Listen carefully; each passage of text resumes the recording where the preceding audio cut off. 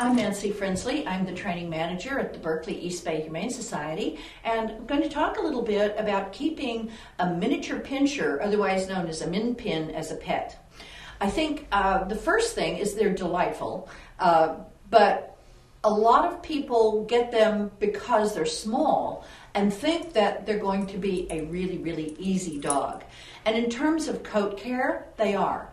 Their coat is very easy. It just needs a little slicking down every day. They need to be kept warm in, in cold weather. But personality wise, there's a lot of dog in that little body.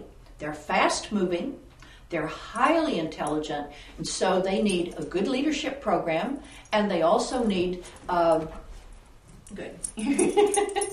I'm sorry. Okay, starting over. They need a good leadership program and they need really a lot of obedience training uh, to make sure that you can catch them when you need to.